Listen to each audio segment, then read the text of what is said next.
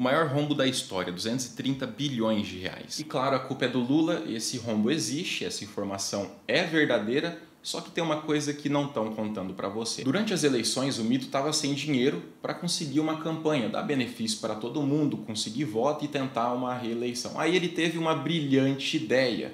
Deu calote com a PEC dos precatórios e jogou para o próximo presidente pagar quase 100 bilhões de reais. Só que o governo dele terminou positivo, não foi? Na verdade, o Tribunal de Contas da União, que é responsável por verificar isso, divulgou que uma auditoria aponta reconhecimento indevido de 330 bilhões de reais. Essa informação é do portal do TCU. Essa despesa extra de mais de 300 bilhões foi realizada no contexto de um projeto político de interesses pessoais, aponta o TCU. Na época, a manchete da Veja foi Bolsonaro um fiasco eleitoral de 300 bilhões. Cara, essa conta ficou para o próximo governo. Além dos 2 mil reais para taxista e caminhoneiro que ele distribuiu durante as eleições, além do consignado do Auxílio Brasil, que depois o pessoal acumulou dívidas. Olha, o Gazeta do Povo, um jornal de direita, contratou Constantino, divulgou emenda que autoriza o governo a atrasar a quitação de dívidas, na verdade a da calote, gera rombo de 2% do PIB, de todo o produto interno bruto para o próximo governo. Só de isenção para religioso para o Malafaia de Macedo deu preju de 300 milhões de reais. De acordo com o TCU e a CNN Brasil, perto do fim do ano passado, o Lula quitou essas dívidas e ajudou a desafogar as contas públicas. Aí apareceu esse suposto rombo. Como eu falei, ele existe, só que não vai ter rombo se você der um calote. Por exemplo, fechou o mês, você chegou com a sua esposa e falou: Olha, a gente ficou no positivo, todas as contas estão pagas e ainda sobrou mil reais. Aí ela, você não está devendo 5 mil para seu cunhado?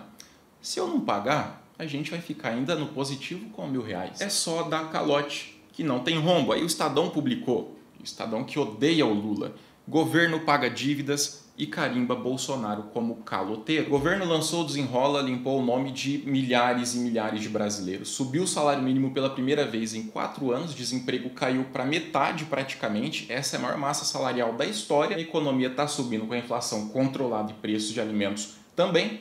O sujeito que votou no outro presidente, orgulhoso do voto, não quer admitir que estava errado, aí ele arruma um argumento que ele tirou, não sei de onde, do suposto rombo. Nem sabe o que é déficit primário, não entende nada de economia, só que agora todo mundo é especialista em contas públicas. Para não ter discussão, é simples, é só fazer um experimento. Divide o país no meio, numa metade coloca um presidente falador, Bolsonaro, e a galera que gosta dele. Aí promete tudo, não faz nada, dá calote em todo mundo e o povo fica feliz. Ataca o STF, depois pede desculpa para o Xandão, como fez durante o mandato dele. Na outra metade coloca o Lula para quitar contas, pagar as contas arrumar o erro dos governos anteriores e não ficar prometendo sem fazer. Ele só vai lá e trabalha. Aí deixa quem gosta do falador que engana eles com o presidente falador. Vai prometer tudo, não vai fazer nada, eles vão ficar felizes. Aliás, não vai ter rombo, vai ter calote, as contas vão fechar sempre no positivo. É impressionante que aparece o bolsonarista e comenta como se ele tivesse correto.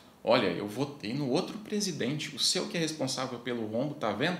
Quer dizer, a pessoa tem coragem. Ela tem coragem de expor isso para os outros.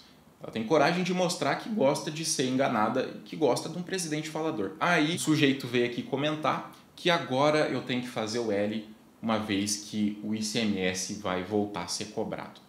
Esse sujeito pagou ICMS durante todo o governo Bolsonaro, só não pagou durante as eleições e depois que o Bolsonaro começou a aparecer abaixo nas pesquisas e ainda com orgulho decide comentar isso para as pessoas, passando vergonha de graça. Então agora tem um rombo aí do governo Lula e para quem é contra, eu faço uma proposta para esse ano de 2024. Não vai ter pé de meia para estudante, não vai ter desenrola de dívidas. O cara que estava devendo 20 mil pagou 800 e está com o nome limpo agora, não pode. Tem que subir o desemprego, tem que subir o preço dos alimentos. Aí, no final do ano, o que vai acontecer? Contas positivas, não tem rombo. Agora o país está no caminho certo. Então é assim que tem que ser. O governo tem que economizar tudo, não ajudar nada, não ajudar ninguém, não gastar com nada, nem investir. Aí não vai ter o rombo. Não pode pagar dívida, tem que deixar lá o calote rolando. Aí não vai ter rombo e todo mundo vai aplaudir, né?